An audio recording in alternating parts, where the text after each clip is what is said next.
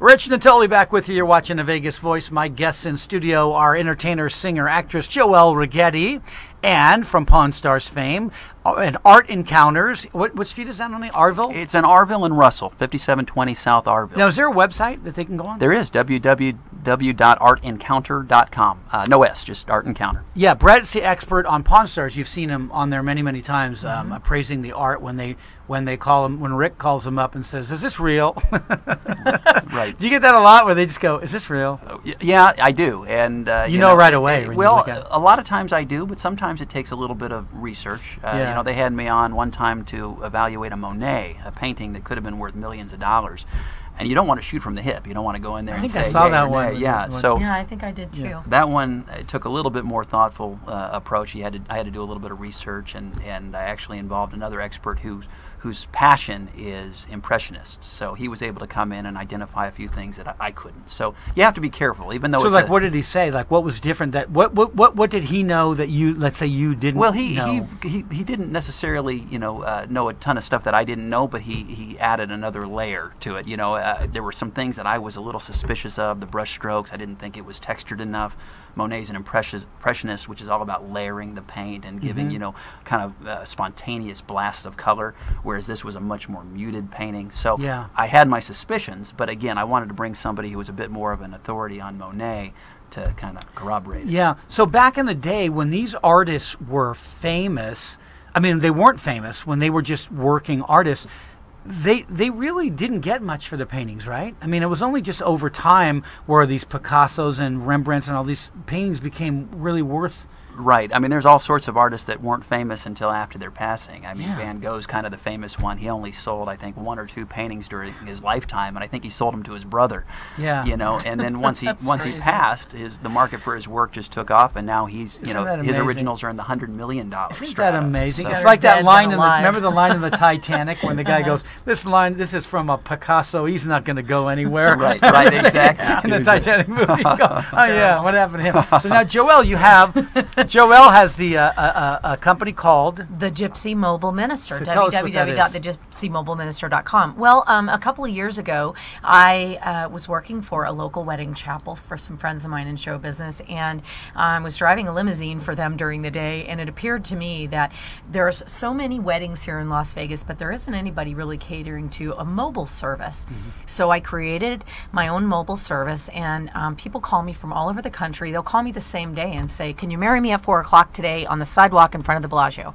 It's it's insane. and you go, And I go, why? Sure. Don't do it. right there. but it's crazy. Um, I've only been open open a year and a half, and um, unbeknownst to me, when I went on Google AdWords, I didn't realize that there were fifty thousand inquiries a month for mobile ministers here in Las Vegas. Wow. I mean, that just seems so um, amazing that you could just, in, you know, They all come here to get married. yeah, I to mean, capitalize on one percent of that would just be insane, right? Right, So, um, doing this business for me, it's very lucrative. I've been involved in a local church in town called Canyon Ridge for 25 years, and Yeah. I've um, so you know being being a part of the ministry and doing a lot of um, underground stuff for for you know just for my beliefs and how I feel about that. I love to make people smile. Being in show Yeah. business for uh, you know 25 plus years, um, this business has been amazing for me and something I could grow into um, as I grow older. What would Groucho say? It's a lot better than funerals, let me tell you. Hey, I do those too. Anyway. At least the people are smiling. well, but, But you the know, thing is, oddly yeah, enough, I mean, yeah, they're happy, right? Yeah, And- and I mean, there's over 5,000 weddings a month here in Las Vegas. Yeah. And per capita, I mean, they did, f- I think, 40 million in weddings here in Las Vegas. Isn't last it like year. a one-stop marriage divorce thing here? Like you can get married in window one, right,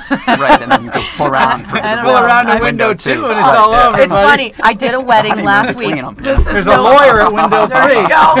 I did a wedding last week out at um, Calico Basin, and I met the couple out there. I, I officiated their ceremony, and I got an email the next morning. Have you filed the documents yet? And I said, No, I did not. Please do not file the documents yet because hmm. something happened last oh. night. Mm-hmm. And then the following day, we definitely do not want you to file the documents. Under no circumstances should you file the documents. Then 24 hours later, did you did you throw them away? I said, No, I kept the documents because I had a funny feeling you were going to change your mind. Sure enough, I ended up filing them, and they they got married. But oh, could you imagine standing on that because it, it happened Yeah, so fast? yeah. They they sort of called me off of the cuff and said, Yeah. "We want to get married today at 12 o'clock." Rock and in the middle of Red Rock. Now you get a lot of those. Like they do that just at the spur of the moment. And they like call that? me. Um, they'll Can you get me over to Grand o'clock in the Canyon? morning. We're gonna jump if we can't get married right now. It's it's crazy. Now I have to ask, what goes into a mobile marriage? What do you travel with? Good Well, question. they have to get their license from the Right. county, uh, uh, and then they arrive with their documents. I need a, um, a witness to sign, and then literally within ten minutes, I officiate their ceremony. Hmm. And of course, as you know, that they have to consummate it, but um, that comes after. But as long as, as everything, Not in the back of the van. Or anything. Are we going to elaborate on the consummation? no, we're not going to uh, elaborate on that. I, um, anyway, I'm turning red. but um, You have to consummate the pretty marriage. much, pretty much, it's a it's a it's an in and out. Ten Uh, is that the consummation? That was a bad choice of I'm a words. comedian. but It's an in and an out in and out. process. I love my life. Uh, sometimes the business is a little up and down, but we work through it. Is the That's a important stiff thing. competition out there. and then okay, so it's a lot of stiff competition.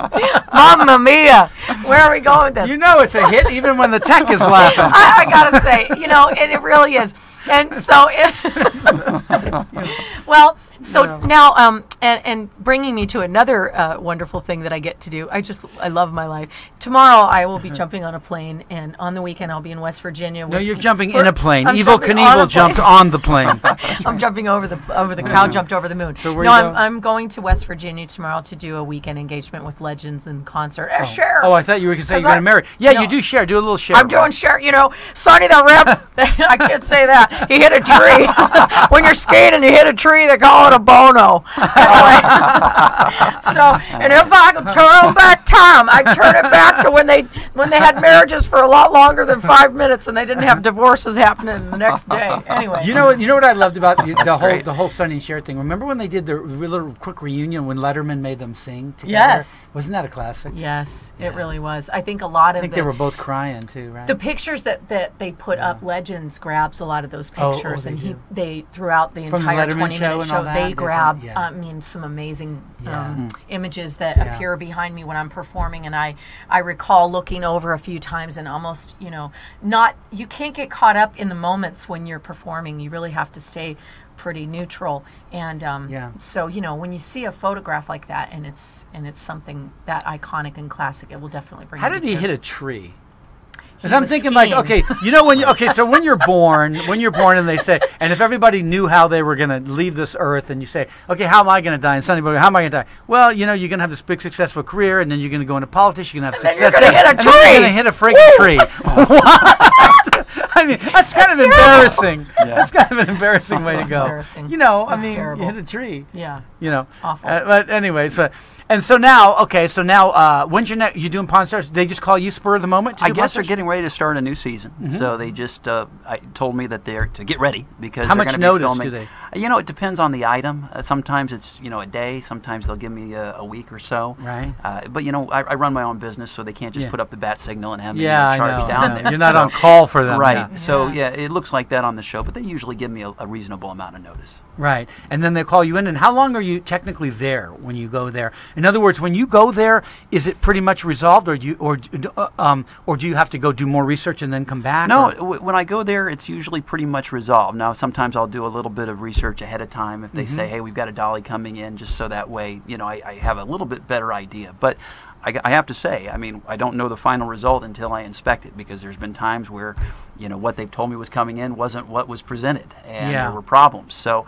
you know, a lot of times, you know, Pawn Stars get some flack for not being, you know, real enough. But I tell Yeah. you, the the transactions and how they're presented to me as far as the uh, you know the you know the, the the authentication and all of that, all of that is legitimate. Yeah, you know, a friend of mine, um, John Pate, comedian friend of mine, Mm-hmm. he, he used to tour with Red Skelton. And when Red Skelton was on the airplane, he sketched a bunch of sketches because he Mm-hmm. would sketch, right? And he gave them to John. Well, he sold one on Pawn Stars. Well, I appeared with him on that. Oh, were you on that as a matter of episode? I came in and I Yes, authenticated yes. them, and that's yeah, right, we were yes. we were together. That's right. so. Yes, yes, you were. That's right. and so, um, what'd you think of those? I mean, were they pretty good sketches, or Uh, you know, I thought they were great, and like we were talking about, you know, provenance makes such a big difference, and Mm-hmm. having the, having Red Skelton actually give him the drawings and the history behind it, and Mm-hmm. there was there was a spot where you know a dripping from one of uh, you know Red Skelton's cigars like went onto uh, one Yeah. of the pieces, and he turned it into a butterfly. So instead of a brown splotch, he turned it into the a guy had butterfly. these So- talents, yeah. yeah. So so having that history and that knowledge and insight into the artwork really adds to its value. Yeah. Um, we're talking to Brett Maly from Pawn Stars, and we're talking to uh, Joel Righetti. We'll be right back. You're watching the Vegas Voice.